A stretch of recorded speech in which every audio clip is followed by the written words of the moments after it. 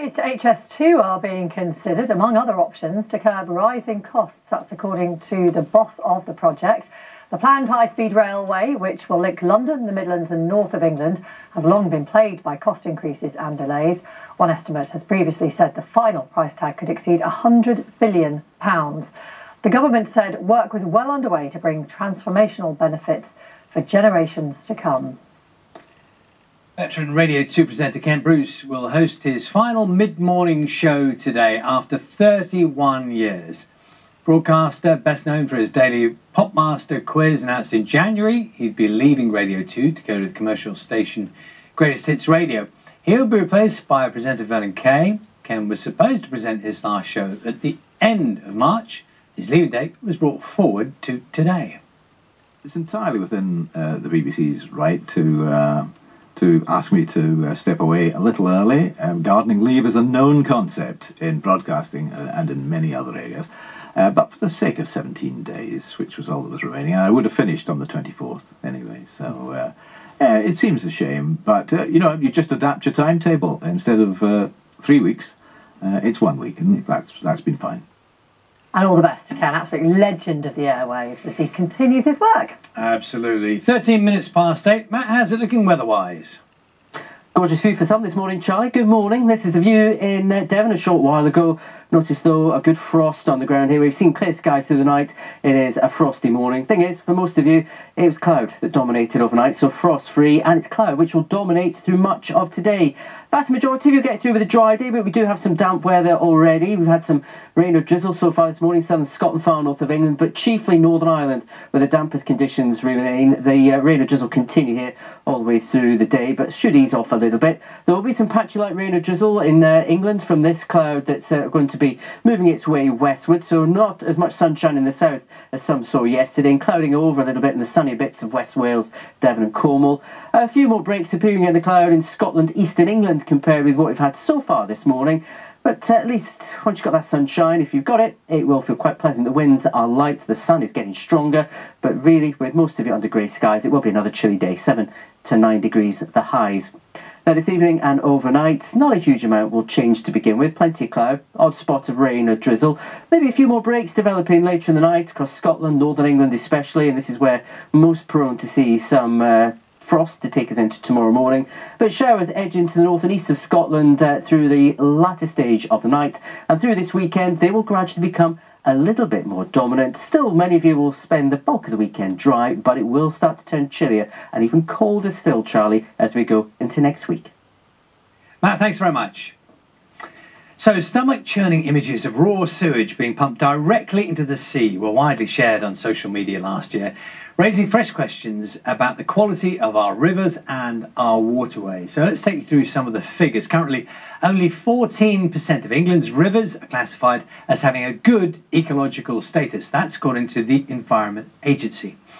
But it says that figure is predicted to drop to just 6% by 2027. Now, raw sewage discharge is one of the main contributors to poor water quality. Just one year, England and Wales waterways had sewage pumped into them for at least 3.4 million hours. Yorkshire was one of the worst counties for polluted waterways, with three of its rivers, the Calder, the Aire, and the Ouse, falling within the top 10. And meanwhile, sewage was discharged into the River Severn more than 2,500 times in just one year. Our environment correspondent Jonah Fisher has been to meet people living nearby. 5.6 degrees. 5.6 degrees. Yeah, it's quite warm. Cleaning up our waterways is going to take courage and conviction. And Melissa and Alison have it in spades. You're there with your friends, but again, it's quite solitary. Oh, it's just lovely. It's a freedom. You're part of the nature. Yeah, I love it. But unfortunately, it's not just nature in the River Severn. It gets whiffy at the river, just up the river there. The UK's longest river is, like many of our waterways, in trouble. Farming runoff, industrial waste, and sewage have all played their part in making swimming not for the faint hearted. In the edges, you tend to get sanitary products and toilet paper, that kind of thing. Wet wipes. And it's a different colour as well. The water. Yeah, yeah, it's horrible. Looks like slurry. It's not nice. But just how polluted the Severn is, is hard to quantify. In recent years, there have been great efforts made to measure the amount of sewage that flows into our rivers. But that data has its limits. Here on the Severn, we know that sewage mixed with rainwater flowed out of outflow pipes like that one over there for a combined total of nearly 29,000 hours in 2021. What we don't know is whether it was dribbling out or a raging torrent. And if you've ever run a bath, you'll know that makes all the difference. Testing the water is the obvious way to find out how clean the Severn is. But the only way to get that done regularly is to do as Alison and Melissa are attempting get it official status as a place to swim. So we're hoping to get a couple of stretches in the River Severn designated as bathing water so that the water will be tested to see how clean it is or otherwise. Um, and then if there's any pollutants in it, the Environment Agency will investigate who's polluting the water and what with. On the other side of the Severn, we meet up with campaigners who say they've had enough. So this is where the um, the sewer enters the river. Claire, Kate, and Jamie are refusing to pay the part of their bill that covers taking the waste water away. Just pay half of it for the fresh water. That's the supply in your tap. Applying the taps, which you know I've got to be, you know, we're grateful for really. But if they're still pumping into the rivers, then I'm I'm not happy about that. I'm not going to pay for it. I really feel like the only thing that's left for me to practice is to try and withhold a bit of the money because that seems to be the only thing that they care about. Not worried that you might get a criminal record. Oh no, no, no, I'm not. I'm going to disinfect my shoes when I get home. When everything works, Shrewsbury's sewage ends up here. This is a final settlement tank. The local water company points to Environment Agency data, which shows farming playing the most significant role in polluting the river. So, what then do they make of the campaigners' refusal to pay their bills? I completely understand that there is a lot of passion when it comes to talking about rivers. People are fed up. Oh, oh yes. So, so people are really passionate about this, but so are we, right? So, Well, fix it then. oh, so and and we are. So, for example, uh, we are investing a hundred million pounds every year to reinforcing our sewer network. But the water companies were privatised decades ago. You've had a lot of time to sort this out. Why should we believe you now that you're going to actually fix this problem?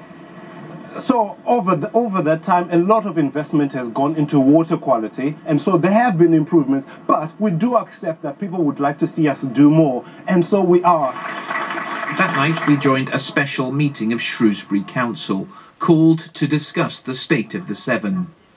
Alison pushed her campaign for bathing status, and bill refuser Clare delivered a call to action.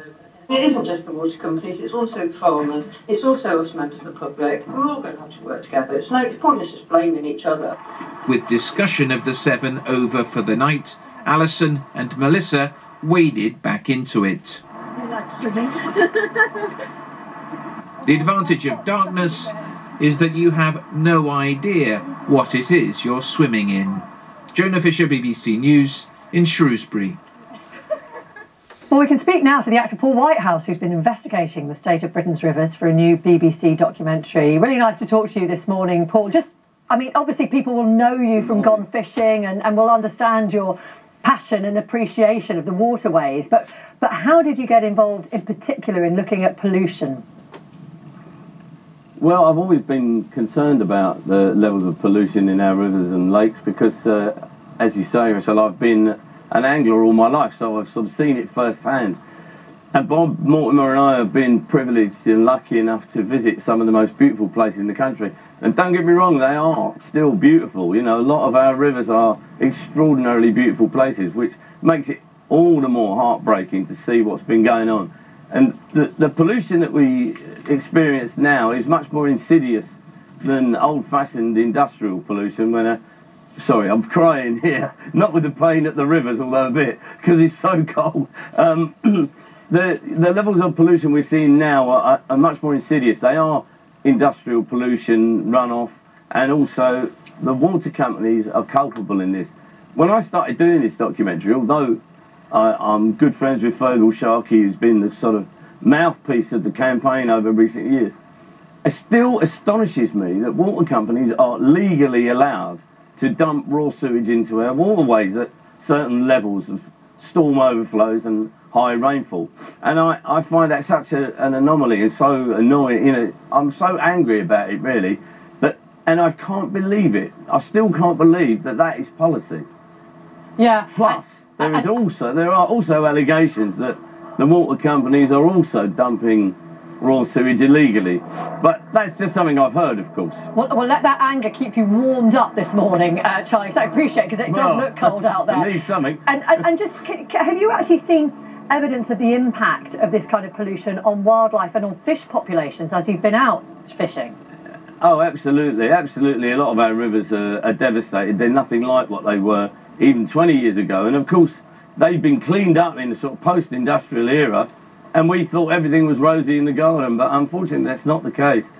You know, your film actually um, touched on quite a few of the issues that, that we're concerned with on, on the River Severn, and we visit the River Wye, which is kind of sister river there. They both flow into the Bristol Channel in the same estuary.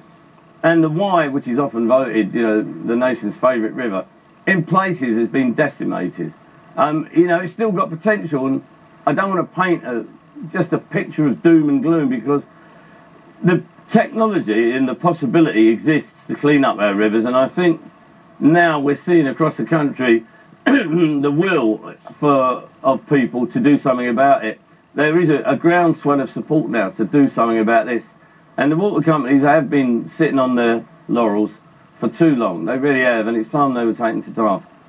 Uh, Paul, morning to you. you know, uh, that is- Sorry, Paul. I interrupted you there. It's Charlie here. Um, I'm just, you, That's you all right, mentioned. Charlie, you uh, can interrupt me. I'll let you off.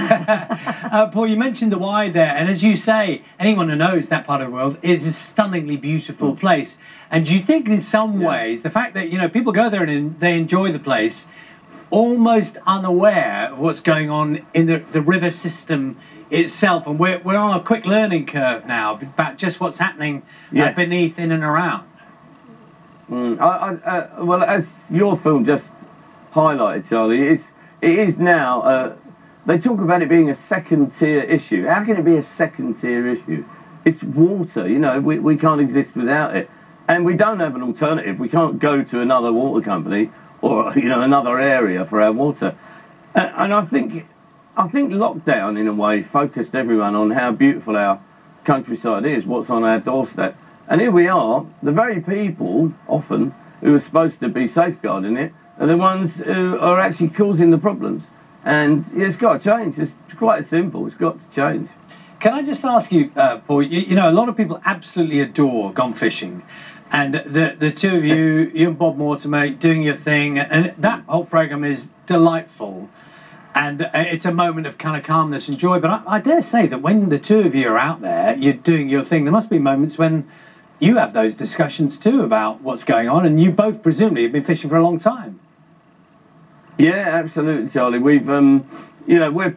I, I mean, in a way, that's why I, I'm sort of fronting this documentary because I've been privileged enough to fish in our beautiful rivers and see them firsthand. So it would be sort of lax of me if I didn't, you know, put my head over the parapet.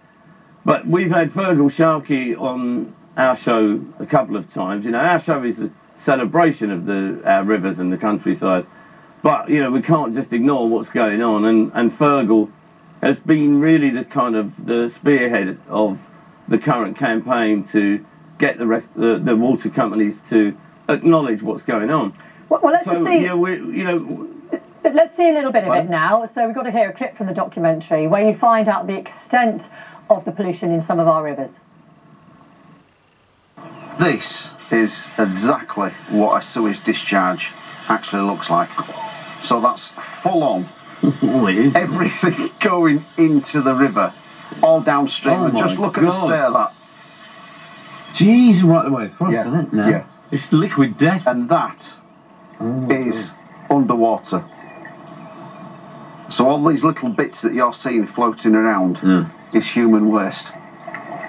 And then mixed in with it, you've got the sanitary towels and obviously the waste and the wipes and everything. That is deeply unpleasant to behold. I mean, that is a, a bird's eye view. It's a good line, but it's all fairly grim as well, isn't it? I mean, in that actually, what you realise is that there is some responsibility on the public as well to be very careful about what they're putting into the waste system. We do, yeah. Obviously, we have a, a personal responsibility. I mean, we, we can see right in front of us here. Um, there's evidence of human discharge, shall we say? Um, so yeah, we obviously we have a personal responsibility, but the bigger picture is is how we manage our rivers and our waterways and our water supply. Um, uh, it's interesting. That was the River Wharfe in Ilkley, and that where that sewage discharge was taking place is I think it was one of the first designated bathing areas in the country. I wouldn't want to swim in that, would you? No thanks.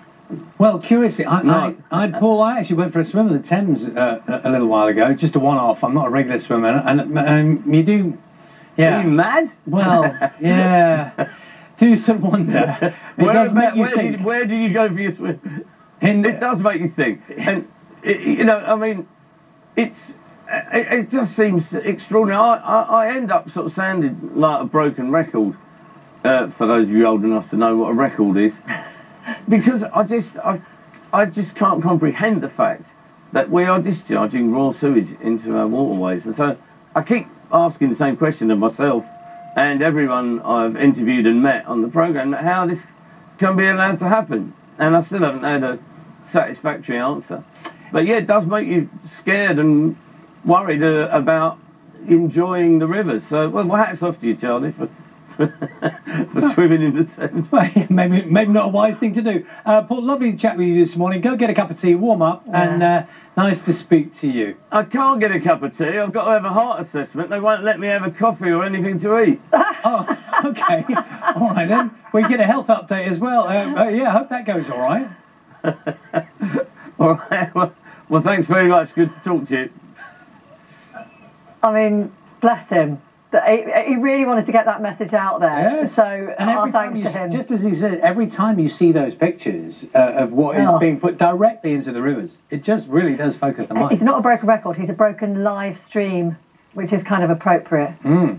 And yeah, it sort of works. You can watch Paul Whitehouse, Our Troubled Rivers, this Sunday on BBC Two at 8 o'clock, and it will also be available on iPlayer as well. 8.29 right now. After breakfast on BBC One, Morning Live takes over and Kimberley and Gethin. Uh, they're already morning to you. Morning.